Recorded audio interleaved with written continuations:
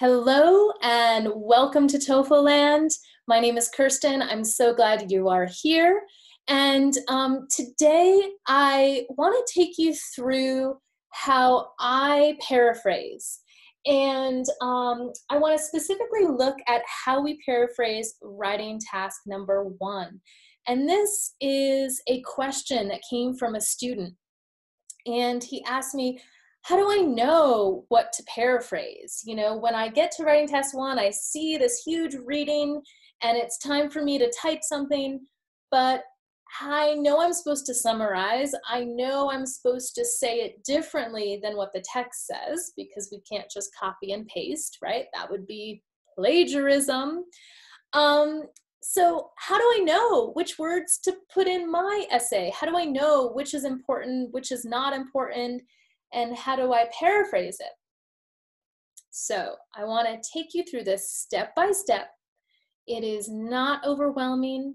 It can be very, very simple. All right. The point is to kind of narrow your focus to look at only what is the most important part of the paragraph. So let's do this. We are going to look at a text together Okay, and um, I just put the intro and the first paragraph. Obviously, you will have three points in the essay, so you'll have, you know, other paragraphs to follow, but I just want to do this to start us off. And the first thing I want to do is find out what is this whole reading about? And I look at the first sentence, the introduction for that. But look what happens here. It's like while blah, blah, blah, blah, blah, blah, blah, comma, ooh, this is a sign that this part is not that important. Why? Because it's not the subject of the sentence. My eyes are looking for subject, verb, object. That's what I'm looking for because that's the most important. So, really, my subject is there. My verb is is. Evidence, mounting evidence in support of the, and here's my object here, volcanism theory. So now I know the reading is all about this volcanism theory. Whatever that is, I don't know, but they're going to tell us what it is. Okay, according to the volcanism theory, look at that, not so important. But here's what's important. Dinosaur extinction, it's my subject, verb, was caused by successive and massive volcanic eruptions that took place in India. Okay, so now I know what the reading's about. It's gonna say, hey, the volcanic eruptions, the volcanoes killed the dinosaurs. And here is some pieces of evidence, right? Pieces of evidence. So I know that what's coming up is probably three pieces of evidence, right? Because always there are three points in the reading on writing task number one. Okay, so let's look now at this paragraph and, and think to ourselves, okay, I'm on the TOEFL test. Here I'm looking at this paragraph. What are the important parts that I need to summarize? What, what do I pull out? Okay. There are three spots that I'm going to look at. Will these always be the three spots to look at? Or the only the three spots to look at? No. However, they're kind of like hot spots. Okay, they're going to tell you a lot. So the first place I'm going to look is the first sentence.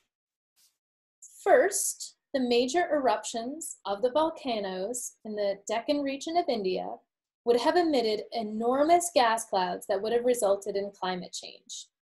Okay. So that's a big long sentence, but again, I want to break it down. Where's my subject? Where's my verb? Where's my object? And let me take some notes. And I know you're probably already thinking, Kirsten, I can't take notes. I don't have time to take notes. What are you talking about? Taking notes is very useful for the paraphrase. Why?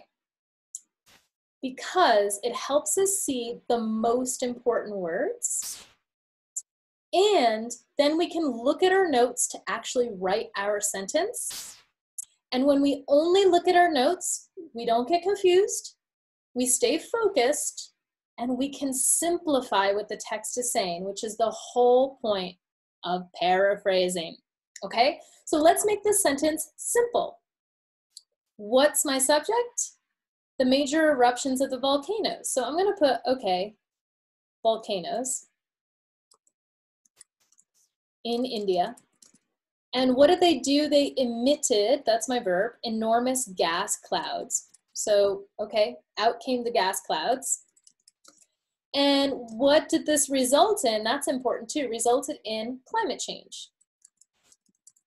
Okay, so those are my notes. That's all I'm gonna say. Now, I wanna read the second sentence as well, because probably it's gonna tell me a little bit more detail for what's happening in the first sentence. Um, and the reason I want to do this is just so I can get really clear on what is this climate change? What's actually going on? Let's find out. Gas, ash, and dust would have covered the sky and, for a time, prevented the sun from warming the earth. Okay, so I'm going to do the same thing again. I'm just going to put that into a simple uh, kind of notes. What's my subject? Again, it's the gas, it's the clouds, it's the ash and dust. Covered the sky, and for a time, ooh, here it is, prevented sun, and so from warming the earth, which is basically telling us the earth cooled, right? Okay. So the last place I'm gonna look, because I still have to figure out, well, how does this, you know, harm the dinosaur? How, how do dinosaurs become extinct because this? How do they die? So let's look at the last sentence. As a result, the food chain would have deteriorated, leaving dinosaurs with nothing to eat. Okay, so that's why they went extinct, because everything else around them was dying as the planet cooled. And so they also died because there was nothing for them to eat. I'm going to write down the important parts. Food chain. Now, another thing to do when you paraphrase is, you know, maybe change a few words, make it more simple for yourself, right? So maybe instead of this word deteriorated, maybe I'll say that the food chain declined. And then dinos, no food. Instead of saying nothing to eat, they just had no food. So then they, that would lead to extinction. Okay, so now it's time for me to put my notes in a couple of sentences and I like to say that um, for point number one in the reading, anywhere from two to three sentences. If you just have two sentences of summary from the reading, that is enough, okay? And then you would do the same thing for point number two, the same thing for point number three, okay? So here I go.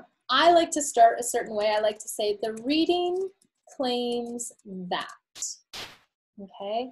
And I just want to um, give a little space here. So here are my notes.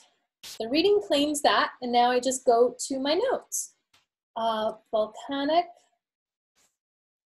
activity ooh, in India created gas clouds, which resulted in climate change. Okay, then I'll take the next idea these gas clouds prevented the sun from getting maybe the sun's energy. Another way to say it. The sun's warmth from getting to Earth and the planet cooled. Okay. Um, and I have one more idea here, which I already have two sentences, but it's really important that I bring in why the dinosaurs went extinct. Um, so I might say in my last sentence here, um, therefore,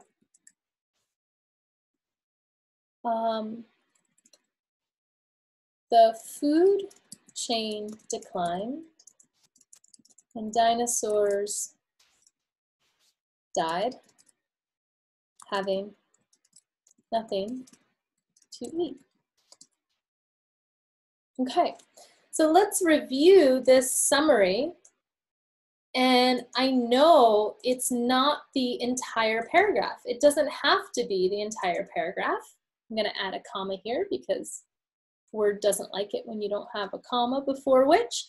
Um, but it's not the whole paragraph. It's not like we're summarizing every single sentence.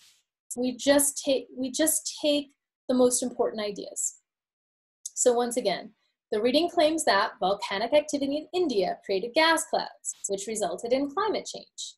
These gas clouds prevented the sun's warmth from getting to Earth, and the planet cooled. Therefore, the food chain declined, and dinosaurs died, having nothing to eat.